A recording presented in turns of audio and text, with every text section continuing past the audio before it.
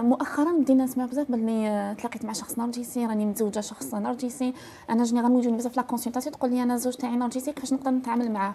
وما على بالوش بلي النرجسيه déjà كت existe من قبل يعني déjà في 1500 آه في الألف نعم. في سنة 1500 كانت الأسطورة الإغريقية تقول باللي كان هناك شاب واسمه نرجس كان شديد الجمال كان كل اللي يشوفه يبهر بجماله ويعجب به إعجاب شديد إلا أنه هو ما كان يلقى حتى كيش نقولوا ما يلقى حتى واحد ينال إعجابه.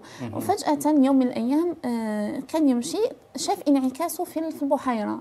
فحتى هو أعجب بنفسه إعجابا شديدا.